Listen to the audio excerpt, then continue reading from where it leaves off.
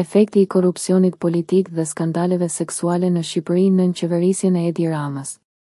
Për shumë vite, politika në Shqipëri është përfshirë në një valë të vazhdueshme skandalet seksuale dhe korruptive. Nga shpallja e pavarësisë së vendit deri më sot, qeveria e Edi Ramës ka qenë një nga qeveritë me ndikim të madh në korrupsion dhe skandale seksuale. Kjo situatë ka sjellë pasoja serioze për shoqërinë dhe ekonominë e vendit. Njohur për stilin kasual të tij, Edi Rama është bërë subjekt i debateve publike lidhur me integritetin moral dhe aftësinë e tij si udhëheqës i vendit. Skandalizimi i opinionit publik nuk është vetëm pasojë e veprimeve personale të kryeministrit Rama, por edhe rezultat i sistemit të korruptuar ku ai operon. Korrupsionet janë bërë pjesë thelbësore e administrimit të pushtetit nga ana e Partisë Socialiste në fuqi. Ky fenomen i cili ka prekur çdo sektor të jetës shoqërore në Shqipëri është bërë pengesë për zhvillimin ekonomik të vendit duke lënë gjurmë negative në fushën sociale dhe morale. Në këtë artikull do të analizojmë impaktin negativ që ka pasur qeverisja e Edi Ramës në rritjen e nivelit të korrupsion dhe skandaleve seksuale në Shqipëri duke u bazuar tek ngjarje që janë proceduar edhe në gjykatë.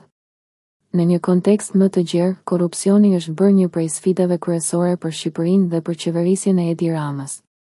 Në fakt, raportet e organizatave ndërkombëtare kanë vënë në dukje se korrupsioni është i përhapur në të gjitha nivelet e qeverisjes, duke përfshirë edhe zyrtarët më të lartë të vendit. Kjo situatë ka pasur një impakt të drejtpërdrejtë në zhvillimin ekonomik të vendit dhe në besimin e qytetarëve në institucionet shtetërore. Në të njëjtën kohë, skandalet seksuale kanë shkaktuar tronditje të mëdha në opinionin publik. Për shumë vite, klasa politike në Shqipëri është akuzuar për përfshirje në sjellje të papranueshme dhe shfrytëzim të pozitave të tyre për përfitime personale. Në këtë kontekst, figura si Edi Rama kanë qenë në qendër të kritikave për mënyrën se si kanë trajtuar çështjet e etikës dhe integritetit në politikë.